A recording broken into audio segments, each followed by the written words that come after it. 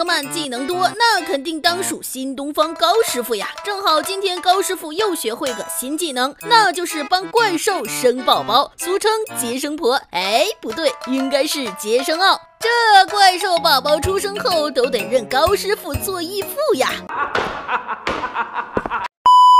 这天，一个神秘物体突然从天而降，卡在了地面之中。收到消息的防卫队赶到此地查看，原来是一头怪兽卡在了地底。在防卫队确认完这只怪兽没有危害后，便对其展开了施救。只见防卫队驾驶战机用绳索将怪兽绑住，接着再开足马力往天空飞去。可奈何怪兽实在卡得太紧，绳索又将怪兽勒得有点痛。几分钟后，疼痛难忍的怪兽开始手舞足蹈，还差点将。防卫队战机摇坠机看到这一幕呢，嘿 嘿，武藏躲在了一旁笑了笑，随即掏出变身器变身高师傅。在高师傅打量一番后，撸起袖子就上去开始拔萝卜。在高师傅一番操作后，怪兽很快便被拔了出来。可万万没想到啊，这头怪兽居然是个大肚子孕妇。被救的怪兽表示完谢意后，便想离开此地。可看到这种情况的高师傅怎能不掺和一下呢？一记催眠。光线直接将怪兽催眠。为了得到最好的接生方案，武藏回到基地与众人商量起对策。毕竟对象是怪兽，不是人类，难度肯定非常高。为此，防卫队还特意请来了怪兽专家石川博士。在博士口中得知啊，这个怪兽名叫萨兰加，而萨兰加一族在很早以前就有在地球孵卵的习惯，而他们选择的地方都会是大海中，因为在他们孵化时体温会持续上升，而大海中。中的水正好起到了降温的作用。如果无法让温度降下来，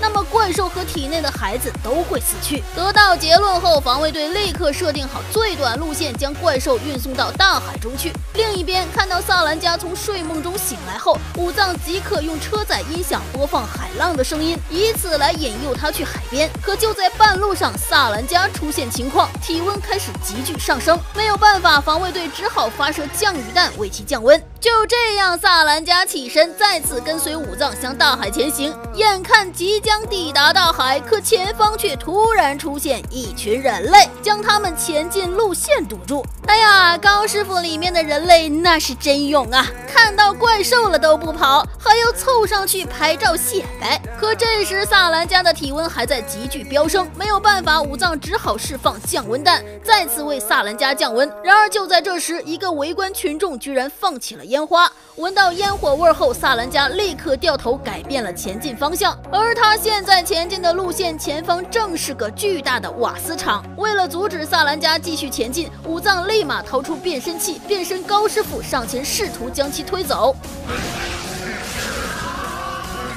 呃，这声音就跟烫猪皮一样吧。